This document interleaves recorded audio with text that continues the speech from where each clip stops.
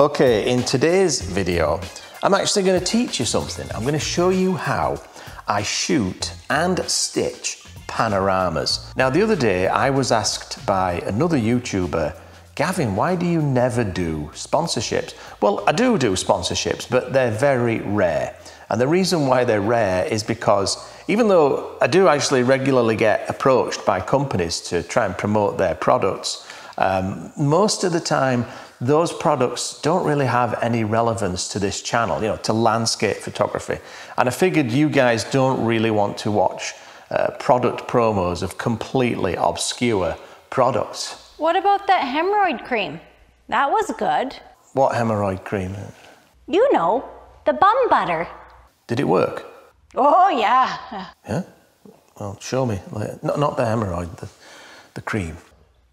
Anyway, I'm happy to say that this video is a sponsored video, and that is because Skylum got in touch and asked me if I'd like to try out their new Pano stitching tool for Luminar Neo, and I did try it out, and I've got to be honest with you, I was absolutely blown away because it managed to do a better job at stitching some tricky images that I had than Photoshop. Let me give you an example. So if you remember this image, that I shot a couple of months ago down in the States.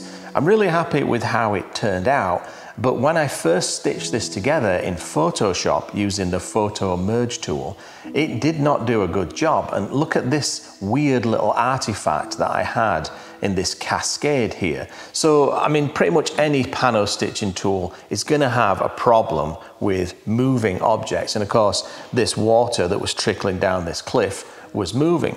So I thought, well, that's the first thing I'll use to try and test out the Pano stitching tool from Luminar Neo. And within a few seconds, just loaded the images in, hit go, and it did a much better job than Photoshop. None of those weird anomalies in that cascade.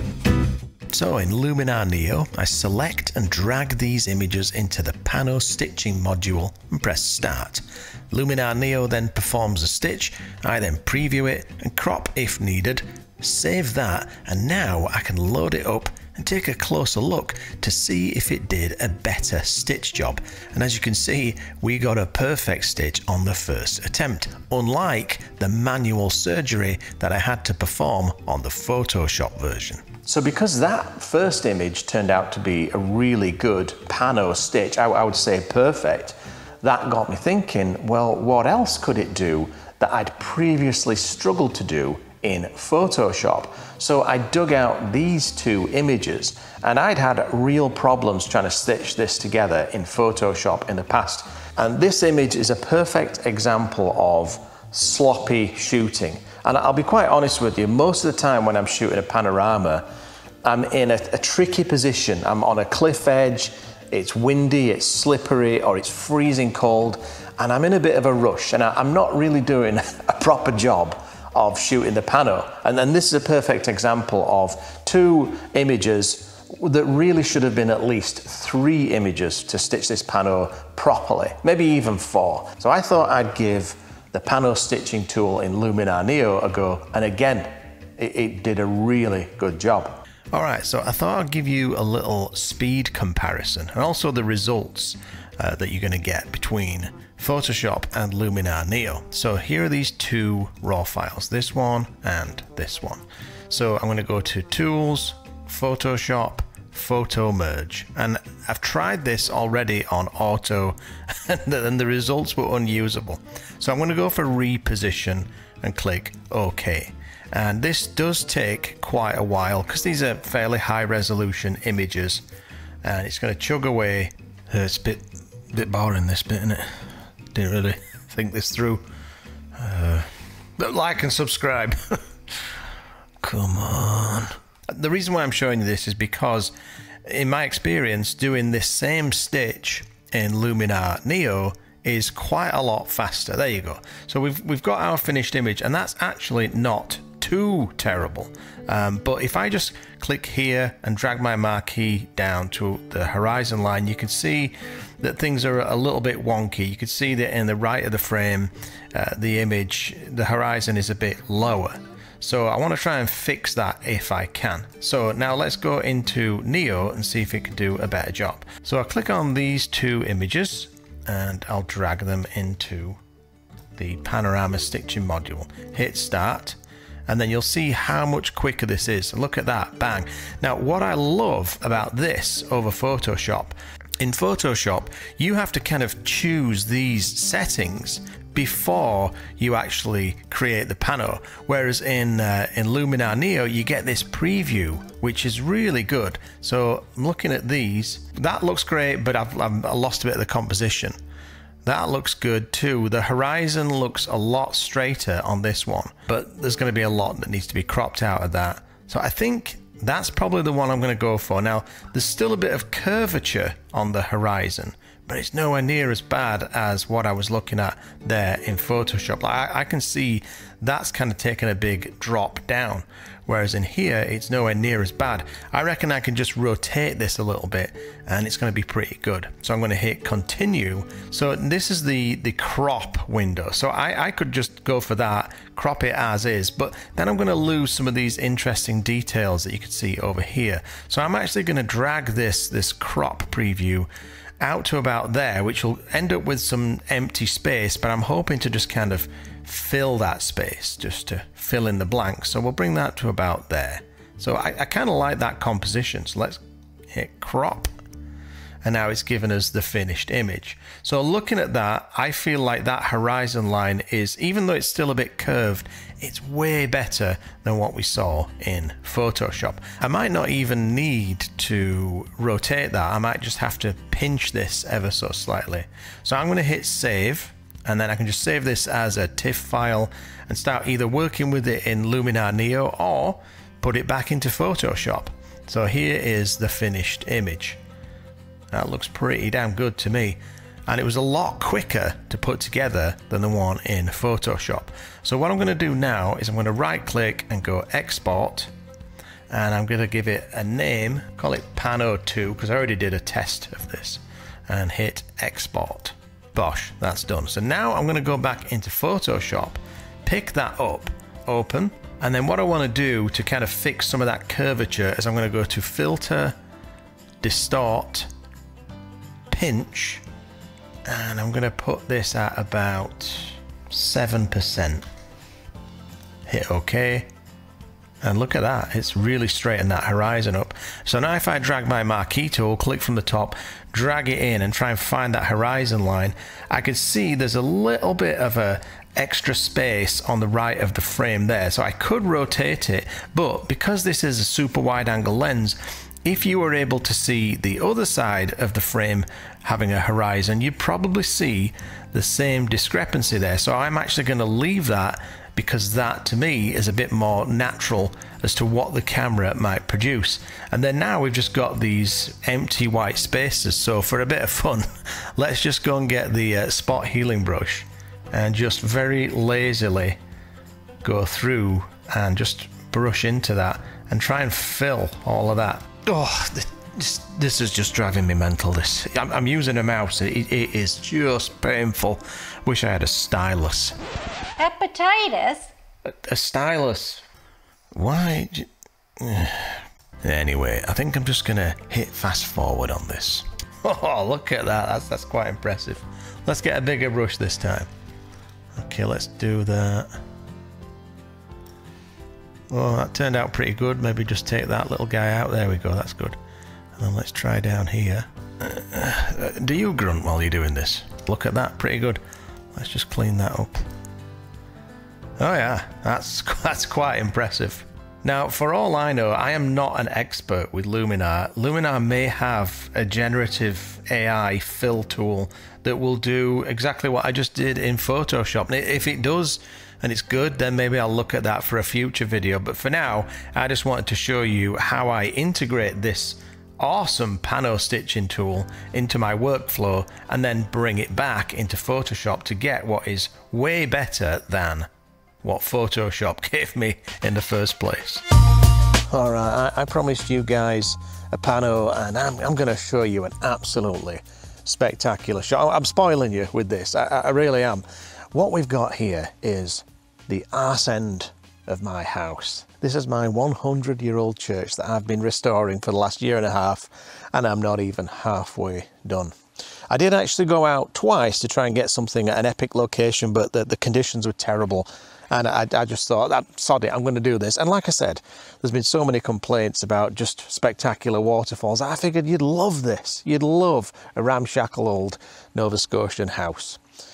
So of course you've got the church there. That's the church from, from the back the back end. And over to the left of the frame, what I've done is I've tried to make sure that you've got some level of interest there. So that is the old roof that we craned off of that roof that you could see there. That's a new roof on top, but we craned that off of there.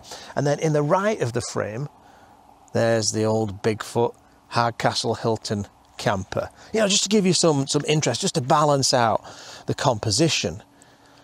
So there's lots of really interesting elements to make this a spectacular grand landscape and even better, zero clouds.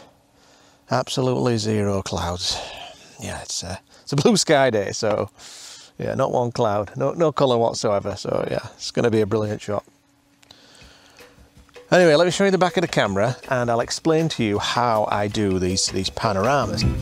So the first thing that I do when I'm doing a, a panorama on the tripod is I level the tripod so that the spirit level, that little bubble level, is perfectly centered.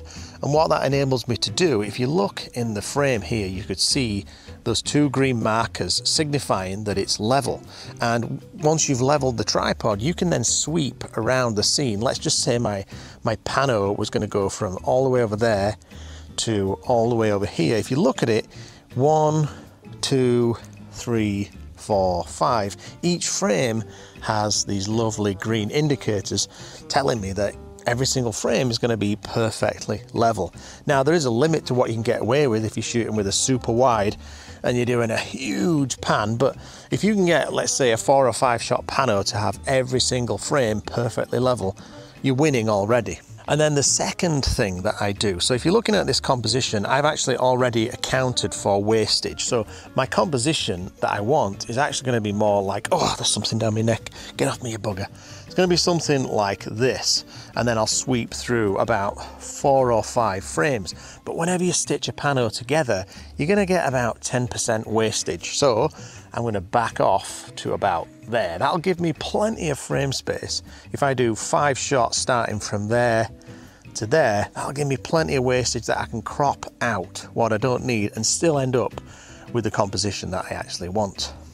So as I said, I mean, you know, probably one of my best compositions ever, really. And if you've been watching this channel for a few years, you, you know how good it is, especially all those waterfalls that you're all sick of seeing.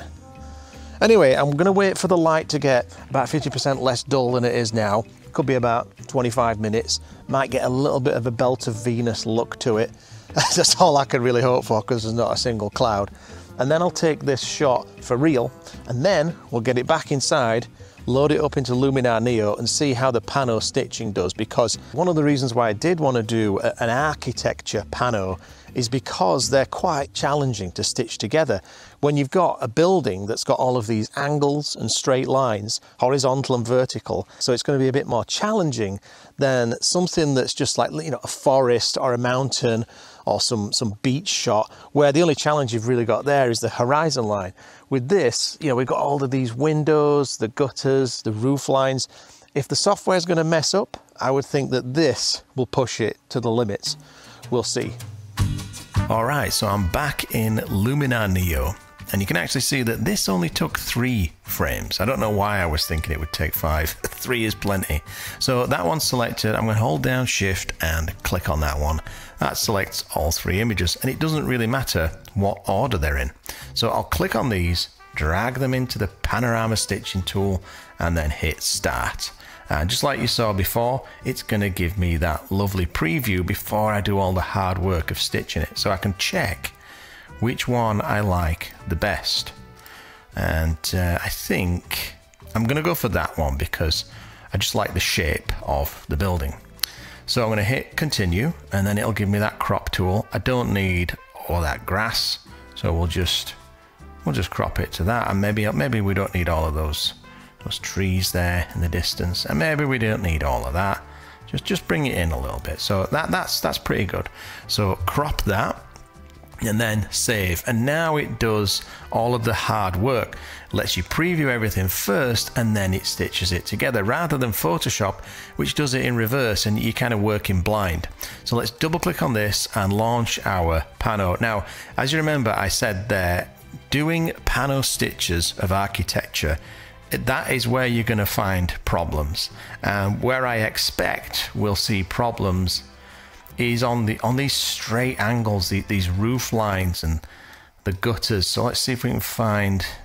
Uh, ah, so I can see one right there. If I zoom in a bit, yeah, it's got this weird little anomaly. So let's fix that. Let's clone that out. We'll go to Edit and then scroll down here to the Clone tool. And I'm just going to pick a selection uh, that I think is going to work as a good patch. And I reckon that's probably going to do it. So I'll just click there and that'll just take a patch out of there and then I'll just roll that over and then click on that. And that looks that looks pretty good but I'll try a better one. Let's undo that reset. Let's try and get a different patch. So let's take a patch from about here. And just keep doing this until it oh that's perfect. Click on that. There you go. That is that is Bobby Dazzler is that? And I can't see any other anomalies. I'm actually blown away that that was the only anomaly that I had when doing a, an architecture stitch because I'll show you the one I did in Photoshop. Uh, Photoshop kindly added some entirely new architectural features. This see this little angle here? That's new. I, I mean, I kind of like it, um, but I don't know if it's structurally sound to that. And then you could see there's some some weird shingling going on there. That that would that that would be a very talented shingler that could do that. So yeah, that was my uh, attempt in Photoshop. Didn't work out that well. Whereas the one in Neo wasn't quite perfect. It just had that one little anomaly, but it was easily fixed with this this clone tool. So uh, overall, I'm very impressed with this panorama stitching tool. So there you go, those are my first impressions. Now if you're interested in trying out this software, there is a link in the description below and I've put a little coupon code in there so you can actually save some money if you fancied purchasing this software. So I hope you enjoyed today's video. I know it was a little bit different to the usual format but rest assured that next week's episode will be right back to the usual ridiculous shenanigans. So give it the old thumbs up subscribe to the channel, don't forget to tickle my bell, and I'll see you next week. Bye bye.